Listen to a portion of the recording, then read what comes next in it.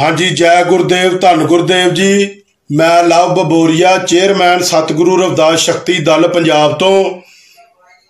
ਜਿਹੜੀ ਕਿ ਇਸ ਸ਼ਖਸ ਨੇ, ਜਿਸ ਦੀ ਅਸੀਂ ਫੋਟੋ ਨਾਲ ਪੋਸਟ ਦੇ ਵਿੱਚ ਨਥੀ ਕਰਾਂਗੇ, ਇਹਨੇ ਸਾਡੇ ਰਵਦਾਸੀਆ ਧਰਮ ਬਾਰੇ, ਸਾਡੀ ਰਵਦਾਸੀਆ ਕੌਮ ਬਾਰੇ ਜੋ ਭੱਦੀ ਸ਼ਬਦਾਵਲੀ ਸਾਡੇ ਜਗਤ ਗੁਰੂ ਸਤਿਗੁਰੂ ਰਵਦਾਸ ਮਹਾਰਾਜ ਜੀ ਦੇ ਬਾਰੇ ਬੋਲੀ ਹੈ, ਅਸੀਂ ਉਹਦੀ ਕੜੇ ਸ਼ਬਦਾਂ ਦੇ ਵਿੱਚ ਨਿੰਦਾ ਕਰਦੇ ਹਾਂ ਤੇ ਮੈਂ ਸਾਰੇ ਹੀ ਦੇਸ਼ ਵਾਸੀਆਂ ਨੂੰ ਤੇ ਵਿਦੇਸ਼ਾਂ 'ਚ ਵਸਦੀਆਂ ਸੰਗਤਾਂ ਨੂੰ ਹੱਥ ਜੋੜ ਕੇ ਬੇਨਤੀ ਕਰਦਾ ਹਾਂ ਕਿ ਸਾਨੂੰ ਸਿਰਫ ਤੇ ਸਿਰਫ ਇਸ ਬੰਦੇ ਦਾ ਐਡਰੈਸ ਤੇ ਨਾਮ ਪਤਾ ਦਿੱਤਾ ਜਾਵੇ।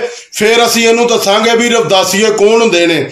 ਮਾਰ-ਮਾਰ ਜੁੱਤੀਆਂ ਇਹਦਾ ਜਦੋਂ ਲਹੂ ਨਾ ਕੱਢਿਆ ਨਾ, ਤੇ ਫੇਰ ਸਾਡਾ ਨਾਂ ਰਵਦਾਸੀਆ ਨਾ ਆਇਆ ਇਹਨੂੰ ਆਪਣੀ ਦਾੜੀ ਦਾ ਇਹਨੂੰ ਸ਼ਰਮ ਨਹੀਂ ਆਈ, ਬੰਦੇ ਨੂੰ ਵੀ ਮੈਂ ਕੀ ਬਕਵਾਸ ਕਰਦਾ ਪਿਆ। ਇਹਨੂੰ ਇਹ ਸ਼ਰਮ ਨਹੀਂ ਆਈ ਵੀ ਮੈਂ ਪੱਗ ਬੰਨੀ ਆ ਤੇ ਮੈਂ ਬਾਣੀ ਬਾਣੇ ਦਾ ਜਿਹੜਾ ਵਾ ਉਹ ਸਤਿਕਾਰ ਕਰਨਾ ਹੈ।